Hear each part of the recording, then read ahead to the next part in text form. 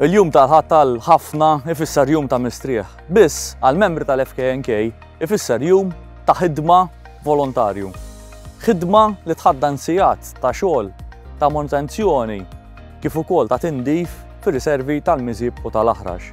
Xogħol li jindokra l-ambjent ta' madwarna fejn isir tindif, isiru manutenzjoni ta' ħitan tas-sejjieħ, isir manutenzjoni wkoll fuq siġar biex dawn is-siġar jibqgħu b'saħħithom, jitħawlu mijiet oħra ta' siġar ġodda u arbuxell indiġeni biex ikomplu jgħinu l-ekoloġija li tħaddan kampanja Maltija, kif ukoll xogħol ieħor matul is-sena sfortunatament ma tantx jidher għall-pubbliku in ġenerali.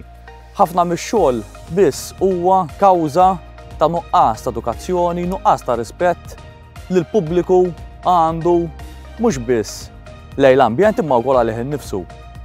Ħafna ħmieġ jitħalla wara pikniks irresponsabbli kif ukoll nar li jitqabbad taħt is-siġar li huwa ta' periklu kbir li jista' jkun li jikkawża nirien Eh, li jirdu taw l-imsaġar.